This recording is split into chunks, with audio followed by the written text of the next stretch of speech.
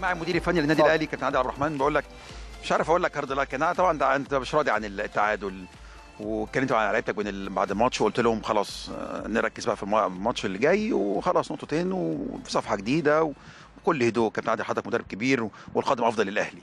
لا شوف هو أنا أنا أنا ببص على الأداء بس إحنا أدائنا الشوط الثاني في كان في إجهاد كبير قوي لأنه آه، بعض اللعيبة بيلعبوا في في مباريات أخرى كمان وهم صغيرين يعني في السن وكده فسفر ورجعنا وبعدين لعبنا سبت وثلاث وسبت قبله يعني سبت ثلاث سبت فده وضع طبيعي إحنا والمقاولين كمان كانوا عندهم برضو حتة الإيجاد ولكن في الآخر أقدر أقول لك إنه تنفيذ ال للعيبة في وسط الملعب ما كانش بصورة جيدة وإحنا هنتكلم فيها. وبعدين دايما أنا زي ما اتكلمت ما ببصش على النتائج يعني ما إحنا متصدرين الفرق بيننا وبين التاني 11 بونت يعني.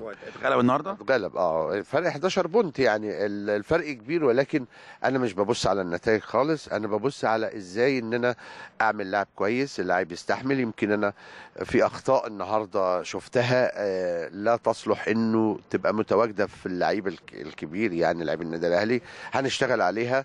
ودايما لما الأخطاء يمكن إحنا من عادتنا بنعمل إيه؟ إحنا خلاص بنقطع لهم المباراة ال- ال- ال- اللي اتلعبت وبعدين هنتكلم في محاضرة يوم ال- يعني بكرة ياخدوا أجازة ويريحوا عشان المباراة الثانية السبت.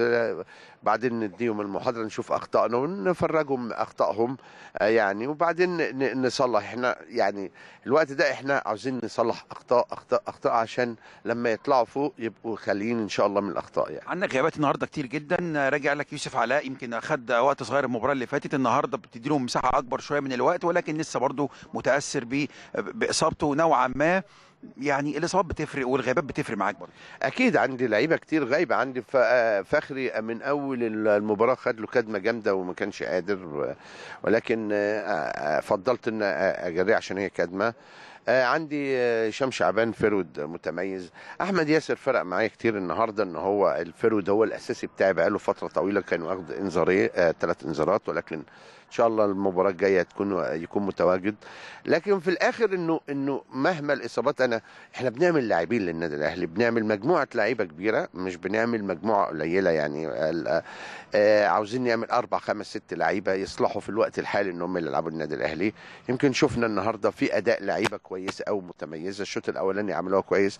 الشوط الثاني بس الحتة بتاعة الإجهاد والحتة إن ال- ال- اللي دخل فينا الجون يعني في في فترة أنا المفترض إن إحنا نكون راكبين المباراة بلغة الكرة ولكن إن شاء الله نشتغل عليها والأخطاء بنشوفها إحنا بنشتغل على الأخطاء إن شاء الله. اسامه حسني بيقول لك بيتمنى لك التوفيق بإذن الله مباراة قادمة قدام الزمالك ونكسب بإذن الله. إن شاء الله طبعا نشد حيلنا و... وربنا يسهل وبنشكر الكابتن أسامة بنشكر الكباتن الكابتن حشيش والكابتن بلال. وبنشكركم على أدائكم المتميز ده. شكرا. شكرا. شكرا. مع السلامة. كابتن أسامة دي كانت لقاءاتنا مع نجم من نجوم